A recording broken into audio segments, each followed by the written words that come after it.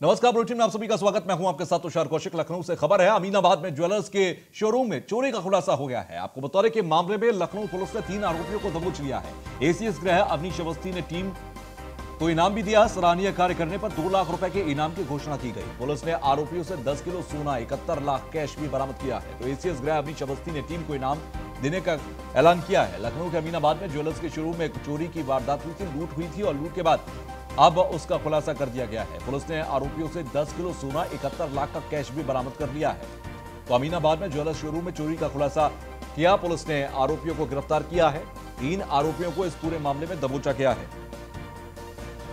तो एसीएस गृह अवनीश अवस्थी की तरफ़ से इनाम भी दिया गया उस पुलिस टीम को, जिस पुलिस टीम ने इस चोरी का खुलासा किया है। आपको बता दें कि चोरी के खुलासे में तीन लोगों को गिरफ़्तार किया गया। इसके अलावा यहाँ पर 10 किलो सोना, इकहत्तर लाख रुपए का कैश भी बरामद किया गया है। तो अमीनाबाद में ज्वेलर्स के शोरूम में चोरी का खुलासा किया गया। अमीनाबाद में बड़ी चोरी का मामला सामने आया था।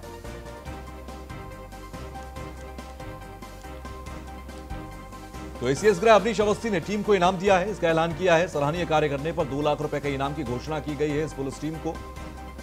तो चोरी का खुलासा किया गया। अमीनाबाद के अंदर एक ज्वेलर्स के शोरूम में चोरी की गई थी। आपको बता दें कि तीन आरोपियों को दबोच लिया गया। मामले में लखनऊ पुलिस ने तीन आरोपियों को दबोचा है। एसीएस गृह अवनीश अवस्थी ने टीम को इनाम भी दिया। दो लाख रुपए का इनाम इस सराहनीय काम के लिए दिया गया। नीलेश चौहान हमारे संवाददाता हमारे साथ जुड़ गए हैं। नीलेश, इस पूरी चोरी का खुलासा कैसे हुआ? देखिए, बिल्कुल तुषार आपको बता दूँ कि राजधानी का सबसे पॉश इलाका माना जाता है अमीनाबाद, जहाँ पर ज्वेलर्स के शोरूम में चोरों ने डकैती डाली थी। करोड़ों रुपए की डकैती थी। लखनऊ पुलिस के लिए एक बड़ी चुनौती थी कि इस घटना को कैसे जो है अनावरण किया जाए। पूरे मामले में लखनऊ पुलिस की टीम बनाई गई थी एसटीएफ की टीम बनाई गई थी। उसके अलावा जो है क्राइम ब्रांच की टीम को भी इस पूरे मामले में लगाया गया था। तो पूरे मामले का खुलासा छत्तीस घंटे के अंदर जब लखनऊ पुलिस ने किया था तो कहीं ना कहीं ये कहा जा सकता है कि लखनऊ पुलिस की कार्य प्रणाली को देखकर अपर मुख्य सचिव गृह अवनीश अवस्थी ने उनके इस कार्य को देखते हुए दो लाख रुपए की इनाम देने की घोषणा की है। तो कहीं ना कहीं लखनऊ पुलिस के लिए अच्छी पहल कही जा सकती है, क्योंकि जिस तरीके से ज्वेलरी शोरूम में डकैती की घटना को अंजाम दिया गया था और ये अमीनाबाद में शोरूम स्थित है, जहाँ पर करीब जो अभियुक्त पकड़े गए थे, उनके पास से दस किलो सोना इकहत्तर लाख रुपए कैश, दस लाख रुपए के हीरे, उसके अलावा उनके पास से वेपन भी बरामद हुए थे। तो इस पूरी घटना को देखते हुए अपर मुख्य सचिव गृह अवनीश अवस्थी ने ये इनाम देने की घोषणा की। उससे पहले Lucknow police commissioner D Thakur ने भी गिरफ़्तार करने वाली टीम को इनाम देने की घोषणा की थी। तो कहीं ना कहीं ये कहा जा सकता है कि लखनऊ पुलिस के लिए आज अच्छा दिन ठीक है, शुक्रिया हमसे जोड़ने के लिए नीलेश। तो अमीनाबाद के अंदर ज्वेलर्स के शोरूम में जो चोरी हुई थी, उसमें खुलासा करते हुए तीन आरोपियों को दबोचा है। इसके साथ ही साथ 10 किलो सोना और इकहत्तर लाख रुपए कैश भी पुलिस की टीम ने बरामद किया है। ऐसे में सराहनीय कार्य करने के लिए पुलिस की टीम को एसीएस गृह अवनीश अवस्थी की तरफ़ से दो लाख रुपए का इनाम भी दिया गया है। खबरों में आगे बढ़ते हैं। यूपी में पीसीएस अफसरों के तबादले किए गए हैं। Sunandu Sudhakar, ADM Namami Gange Chitrakoot. Pratipal Chauhan, ADM Namami Gange Jalaun. PCS Lav Kumar Singh, ADM Ayodhya बने हैं। इसके अलावा अफसरों को नए एडीएम नाम वाली नई कुर्सी। आशुतोष कुमार दुबे, एडीएम नमामि गंगे और ग्रामीण जलापूर्ति बनाए गए। तो कुछ पीसीएस अफसरों के तबादले किए गए। जिम्मेदारियाँ बदली गई हैं। PCS love Kumar Singh, ADM Ayodhya बनाए गए हैं। तो ये कुछ जिम्मेदारियाँ बदली गई हैं पीसीएस अफसरों की। एस के वाजपेयी हमारे संवाददाता हमारे साथ जुड़ गए हैं। वाजपेयी पीसीएस अफसरों के जो तबादले किए गए हैं, ज़िम्मेदारी बदली गई, उसके बारे में जानकारी दीजिए। बिल्कुल यूपी में कई पीसीएस अफसरों के तबादले हुए हैं और बड़ी बात यह है कि इन पीसीएस अफसरों को अब एडीएम स्तर के पदों पर तैनाती दी गई है क्योंकि लगातार पीसीएस अफसरों की तरफ़ से मांग उठ रही थी कि उनके प्रमोशन रुके हुए हैं और कहीं ना कहीं वो प्रमोशन नहीं हो पा रहे हैं। जिसके तहत इससे जो चार अधिकारी हैं पीएस अधिकारी इनको एडीएम स्तर के पद पर तैनाती दी गई है जहाँ सिंधु सुधाकर को नमामि गंगे प्रोजेक्ट चित्रकूट भेजा गया है पितपाल चौहान को एडीएम नमामि गंगे जालौन बनाया गया है। वही पीएस लव कुमार को एडीएम अयोध्या बनाया गया है, जो निश्चित तौर पर हम कहें कि महत्वपूर्ण पद पर ज़िम्मेदारी दी गई है, क्योंकि अयोध्या में बहुत सारे प्रोजेक्ट उत्तर प्रदेश सरकार के चल रहे हैं तो ऐसी स्थिति में पीसीएस लव कुमार को बड़ी ज़िम्मेदारी दी गई है। वहीं आशुतोष कुमार दुबे को एडीएम नमाम गंगे ग्रामीण जल आपूर्ति विभाग में भेजा गया है। तो ये सभी अफसर एडीएम के स्तर पर होंगे और इसमें जो तैनात की गई है वो विशेष तौर पर जहाँ उत्तर प्रदेश सरकार नमामि गंगे प्रोजेक्ट के लिए काम कर रही है जहाँ तीन अफसरों को नमान देंगे। वहीं एक अफसर लव कुमार सिंह को अयोध्या भेजा गया है। कहीं ना कहीं महत्वपूर्ण जिम्मेदारियाँ इन पीसीएस अफसरों को एडीएम स्तर पर दी गई हैं। जो निश्चित ही ये दिखा रहा है कि उत्तर प्रदेश सरकार तमाम गंगे गंगे प्रोजेक्ट को लेकर और साथ ही साथ अयोध्या को लेकर लगातार काम कर रही है और ऐसे तेज तरार अफसरों को वहाँ पे तैनात करने की कोशिश है, जहाँ से ये प्रोजेक्ट तेज़ी के साथ आगे बढ़ाया ठीक है, शुक्रिया हमसे जुड़ने के लिए, वाजपेयी।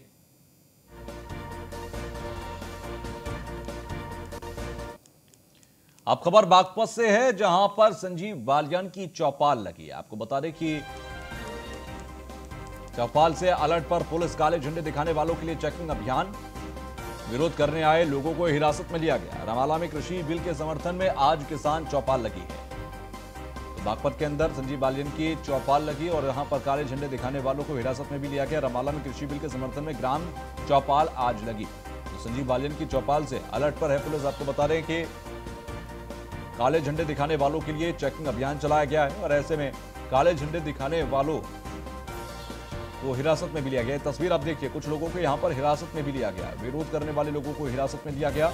तो ये संजीव ग्वालियर की चौपाल लगी थी, जिसमें किसानों को समझाने के लिए ये चौपाल लगाई गई तो संजीव बालियान की चौपाल तो काले झंडे दिखाने वाले, विरोध करने वालों पर सख्ती आज की गई।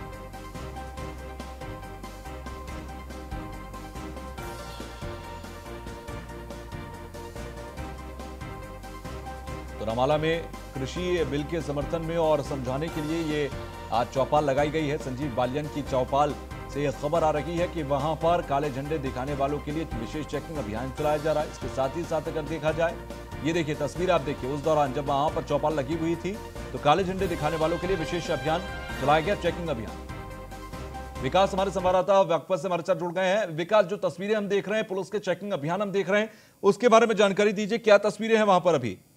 तुषार मैं आपको बता दूँ, जिस तरह से आज बागपत के अंदर ग्राम चौपाल लगाई गई थी, जिसमें संजीव बालियान जी यहाँ पर आने थे, उसी को देखते हुए पुलिस ने अलर्ट हुई और पुलिस ने चेकिंग अभियान चलाया। कुछ जो लोग खड़े थे, उन पर शक से देखा गया कि, देखा गया कि काले झंडे ना दिखाएँ, इसको इनके वहाँ पर चेकिंग करेगी। लगातार चार पाँच पाँच लोगों को वहाँ पर चाहिए और पाँच को अरेस्ट किया गया जो संगीत देखे गए। जी। ठीक है लेकिन अभी संजीव बालियान की जो चौपाल है वहाँ पर जिस तरीके की आपने कहा कि ये शक था ये जानकारी थी कि कहीं कुछ लोग काले झंडे दिखा सकते हैं। अभी वहाँ पर शांति से क्या चौपाल चल रही है? जी अभी कुछ ही देर पहले यहाँ संजीव बालियान पहुँचे हैं और सीधा ही ग्राम चौपाल जहाँ लगनी थी जहाँ पे किसानों को ये जो कृषि बिल है उसके बारे में के समर्थन में उनको समझाना था वहाँ के संजीव बालियान और मोहित बैनीलाल जी पहुँच चुके हैं और लगातार यहाँ पर चौपाल चालू हो चुकी है जी। ठीक है शुक्रिया हमसे जोड़ने के लिए।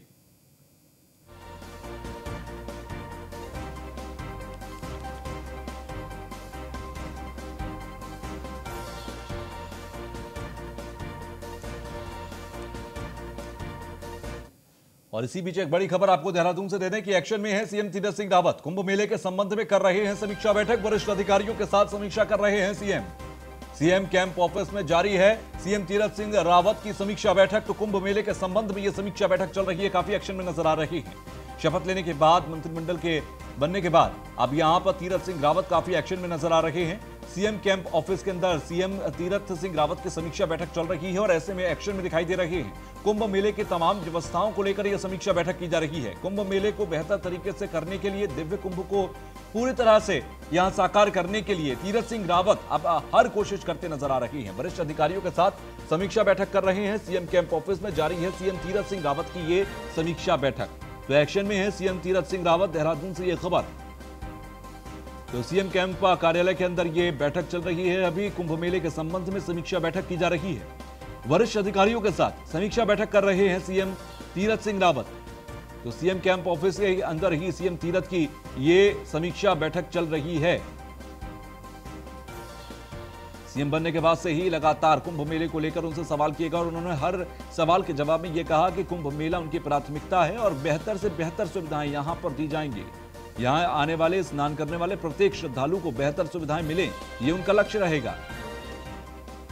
तो इस कुंभ को दिव्य और भव्य कुंभ बनाया जा सके, इसकी कोशिश में तीरथ सिंह रावत है। यही वजह है कि कुंभ मेले के संबंध में एक समीक्षा बैठक इस वक्त चल रही है। देहरादून में ये बैठक कर रही है CM Tirath Singh Rawat.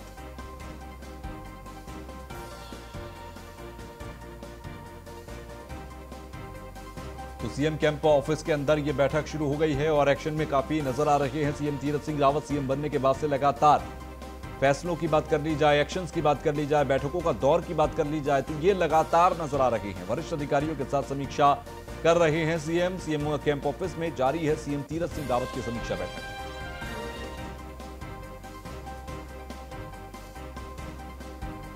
तो कुंभ मेले के संबंध में समीक्षा बैठक कर रहे हैं। वरिष्ठ अधिकारियों के साथ समीक्षा बैठक चल रही है सीएम तीरथ सिंह रावत की। तो तमाम अधिकारियों के साथ कुंभ मेले की व्यवस्थाओं में जुड़े तमाम अधिकारियों के साथ बैठक कर रहे हैं सीएम तीरथ सिंह रावत। और ये सीधी तस्वीरें हम आपको ताज़ा तस्वीरें दिखाते हैं। हमसे कुछ ही सेकंड पहले की जो उस बैठक की है, सीएम तीरथ सिंह रावत रावत के साथ जो तमाम अधिकारी वहाँ पर बैठे हैं, ये तस्वीर बैठक से इस वक्त कुंभ मेले के समीक्षा बैठक ये बताई जा रही है और कुंभ को लेकर यहाँ पर तमाम जो जानकारियाँ हैं वो सीएम तीरथ लेते नज़र आ रही हैं। ये तस्वीर आप देखिए, तमाम अधिकारी यहाँ पर पहुँचे हैं, जो कि जानकारियाँ जुटाते नज़र आ रहे हैं। वरिष्ठ अधिकारियों के साथ समीक्षा कर रहे हैं सीएम तीरथ सिंह रावत। तो कुंभ मेले की व्यवस्थाओं में जुटे तमाम अधिकारियों के साथ इस वक्त जानकारियाँ लेते हुए ये सीएम तीरथ सिंह रावत की बैठक समीक्षा बैठक इस वक्त चल रही है। कुंभ मेले के संबंध में ये समीक्षा बैठक कर रहे हैं। तो वरिष्ठ अधिकारियों के साथ समीक्षा बैठक कर रहे हैं सीएम तीरथ सिंह रावत। तो सीएम कैंप ऑफ़िस में जारी है सीएम तीरथ की समीक्षा बैठक। ब्रजेश श्रीवास्तव एसोसिएट एडिटर हमारे साथ जुड़ गए हैं। ब्रजेश एक समीक्षा बैठक इस वक्त चल रही है जिसकी तस्वीरें हम देख रहे हैं। क्या जानकारी बैठक से जुड़ी हुई? देखिए सबसे बड़ी बात यह है कि कुंभ को लेकर के पूरी ये बैठक हो रही है। सबसे बड़ी बात यह है कि इससे पिछली सरकार ने कुंभ को लेकर के एक तरह से टाल मटोल वाला रवैया अपनाया था।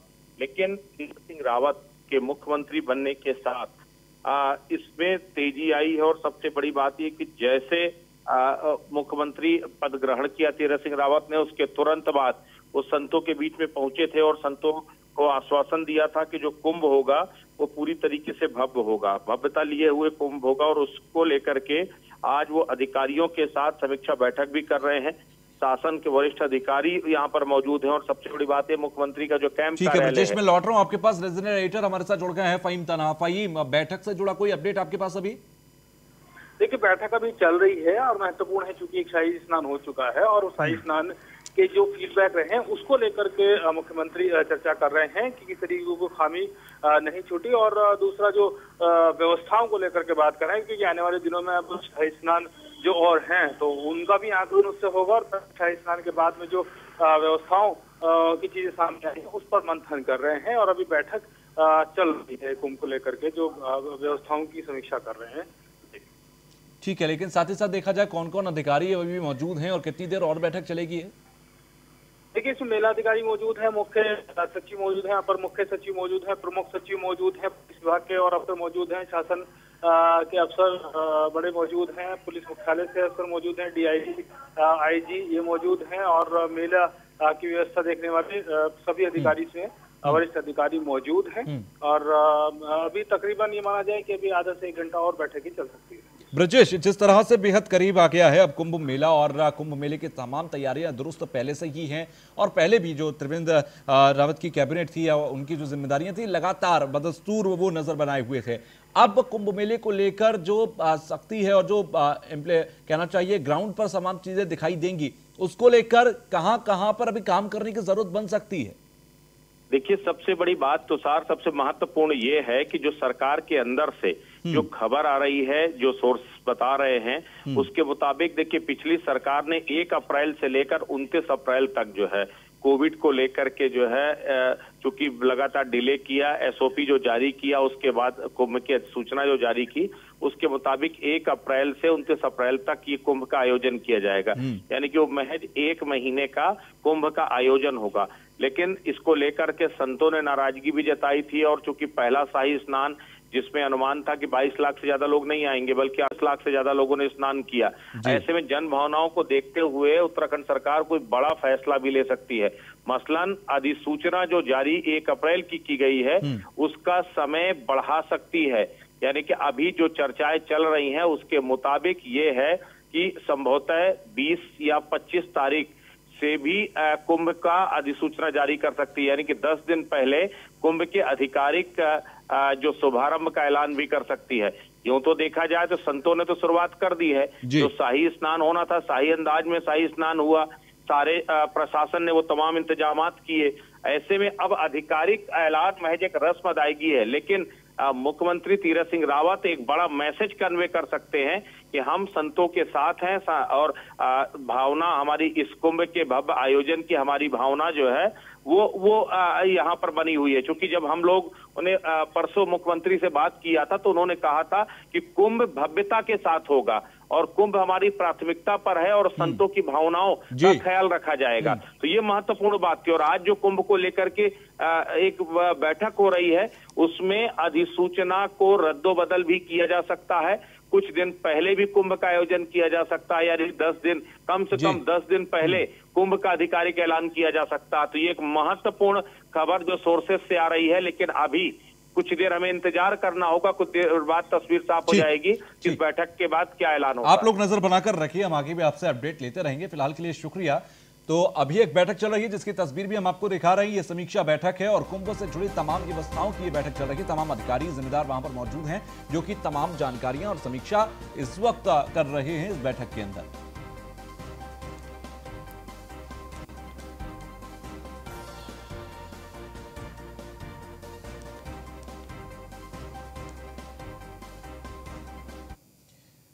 डोईवाला से खबर है कि जहाँ पर शताब्दी एक्सप्रेस की बोगी में अचानक से आग लगी, दिल्ली से देहरादून जा रही शताब्दी एक्सप्रेस में आग लगी थी। कंसरो रेलवे स्टेशन के पास ये आग लगी। हादसे में किसी के हताहत होने की खबर नहीं है। आग लगने की वजह का खुलासा फ़िलहाल नहीं हो सका।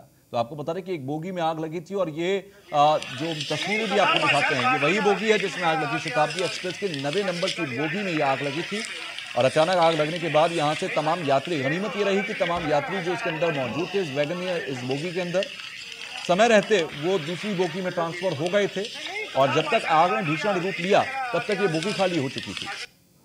गनीमत रही कि किसी के हताहत होने की कोई खबर नहीं है, लेकिन जिस जगह पर यह आग लगी है, उसके अगर चारों तरफ़ देखा जाए तो एक घना जंगल है। यही वजह थी कि यहाँ पर रेलवे के अधिकारियों को पहुँचने में, फायर ब्रिगेड को पहुँचने में काफ़ी मशक्कत का सामना करना पड़ा। फॉरेस्ट ऑफिसर्स जो वहाँ आसपास मौजूद थे, उन्हीं ने रेस्क्यू किया, उन्हीं ने इस बोगी को ट्रेन से अलग किया और उन्हीं ने यहाँ पर जो सिलेंडर थे जो फायर एक्सटेंशन सिलेंडर्स थे, उन्हीं की मदद से यहाँ पर इस आग को बुझाया था।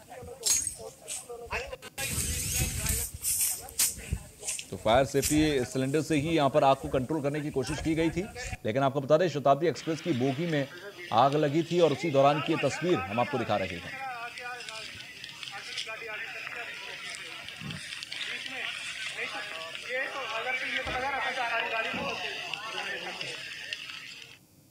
गाजियाबाद से खबर है, हिंडन नदी में दो बच्चे डूब गए हैं। अभी जानकारी मिल रही है कि हिंडन पुल के पास नहाने आए थे चार बच्चे और घटना के दौरान दो बच्चों को बचा लिया गया, लेकिन दो बच्चे डूब गए हैं। एनडीआरएफ और पुलिस फोर्स मौके पर मौजूद है। साहिबाबाद इलाके के करेड़ा का ये पूरा मामला बताया जा रहा है, जहाँ पर हिंडन नदी में दो बच्चे डूबे हैं, चार बच्चे यहाँ नहाने पहुँचे थे। उसी दौरान चारों के वहाँ पर पैर फिसला या किसी वजह से वहाँ पर डूबने की जानकारी मिली। दो बच्चों को तुरंत बचा लिया गया, लेकिन दो बच्चे बचाए नहीं जा सके, जिनके डूबने की खबर मिली है। हिंडन नदी में ये दो बच्चे डूबे हैं। हिंडन नदी के पास ये बच्चे थे और वहाँ पर नहाने पहुँचे थे। हिंडन पुल के पास बताया जा रहा है साहिबाबाद के करेड़ा गाँव का मामला है और यहाँ पर दो बच्चे डूबे एनडीआरएफ और पुलिस फोर्स मौके पर मौजूद है, जो कि लगातार उन बच्चों की तलाश कर रही है। तो साहिबाबाद इलाके के करेड़ा का ये पूरा मामला, जहाँ पर दो बच्चों के डूबने की जानकारी मिली है। हिंडन नदी में दो बच्चे यहाँ डूबे हैं, चार बच्चे नहाने के लिए पहुँचे थे हिंडन पुल के पास और उनमें से दो बच्चों के डूबने की जानकारी है, दो बच्चों को बचा लिया गया एनडीआरएफ और पुलिस फोर्स वहाँ पर मौजूद है। लगातार इन दो बच्चों के, जो बच्चे डूबे हैं, उनकी तलाश की जा रही है। तो साहिबाबाद इलाके के करेड़ा का पूरा मामला बताया जा रहा है। करेड़ा के अंदर ये घटना घटी है। तो गाजियाबाद के हिंडन नदी में दो बच्चे डूब गए हैं। साहिबाबाद के करेड़ा गाँव के पास हिंडन पुल के पास ही नहाने के लिए चार बच्चे पहुँचे थे, जिनमें से दो को नहीं बचाया जा सका और वो इस नदी में बह गए। यादराम भारती हमारे संवाददाता हमारे साथ जुड़ गए हैं। यादराम इन दो बच्चों से जुड़ी कोई जानकारी मिल पाई है क्या? चार बच्चे थे जो कि साहिबाद के हिंडन करेड़ा पुल है वहाँ पर नहाने के लिए आए थे और वहीं नहाते नहाते इन जो बच्चे हैं चारों उनका पैर फिसल गया और इसके बाद वो डूब गए। हम्म। और पुलिस की टीम है वो उन्होंने तलाशी अभियान चलाया और उसके बाद जो दो बच्चे हैं उनको बरामद कर लिया लेकिन दो जो और बच्चे हैं अभी भी उनकी तलाश जारी है। फ़िलहाल जो गोताखोर हैं एनडीआरएफ टीम के पुलिस के वो सभी तमाम लोग जो हैं वो आ, बच्चों को ढूँढने का प्रयास कर रहे हैं। फ़िलहाल दो बच्चों को सुरक्षित निकाल वहाँ से निकाल लिया गया है। जी। ठीक है आप लगातार नज़र बनाकर रखिए हम आगे भी आपसे अपडेट लेते रहेंगे। फ़िलहाल के लिए शुक्रिया।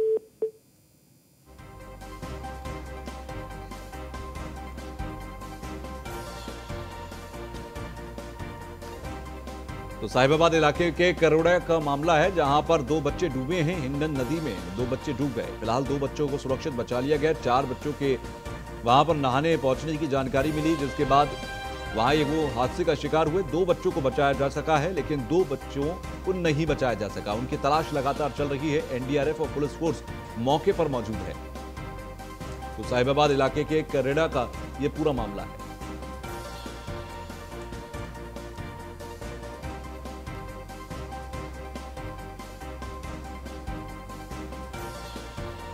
हिंडन पुल के पास चार बच्चे नहाने के लिए पे थे, जिनमें से दो बच्चों के डूबने की जानकारी मिली है।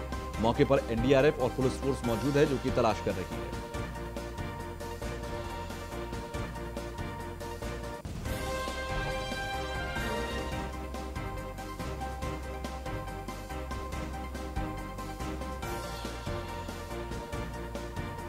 तो हिंडन पुल के पास नहाने आए थे चार बच्चे। घटना के दौरान दो बच्चों को बचा लिया गया। लेकिन दो बच्चों के डूबने की जानकारी मिली है। एनडीआरएफ और पुलिस फोर्स मौके पर मौजूद है।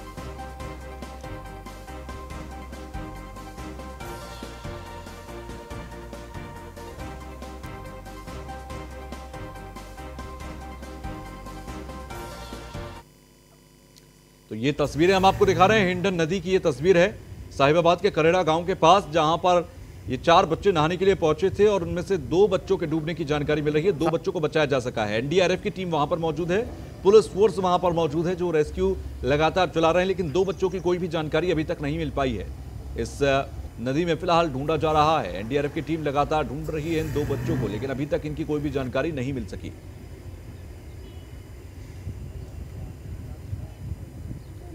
तो एनडीआरएफ की टीम और पुलिस फोर्स मौके पर पहुँची है। लगातार तलाश की जा रही है। दो बच्चों को बचा लिया गया, लेकिन दो बच्चों को नहीं बचाया जा सका।